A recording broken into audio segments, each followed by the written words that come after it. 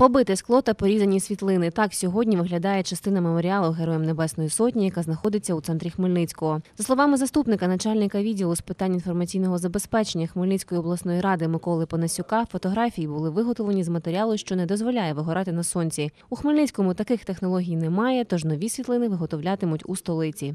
Як каже Микола Панасюк, на виготовлення нових світлин піде два дні.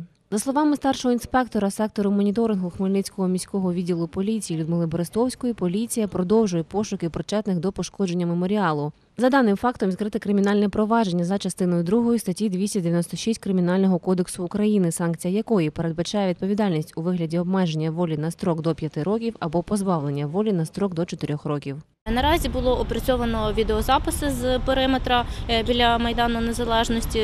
За допомогою цих відеозаписів ідентифікувати особу злочинців наразі е, не представилось можливим. Е, Також сьогодні буде вилучено додаткові відеозаписи з торгівельних точок з можливих маршрутів слідування. Олександра Карпунець, Іван Мовчан, новини Поділя Центр.